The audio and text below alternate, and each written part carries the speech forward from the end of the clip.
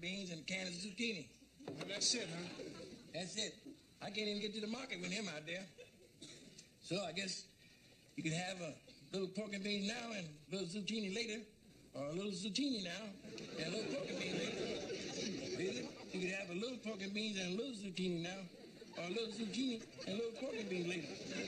Or if you like the pork and beans, you can have them, and I'll take the zucchini. Or I can take the pork and beans. You like the zucchini, I'll just keep these. So what would it be? The zucchini or the pork and beans? Have you forgotten we have no way of heating the food? Well, in that case, you have some cold pork and bean now. Would you stop that?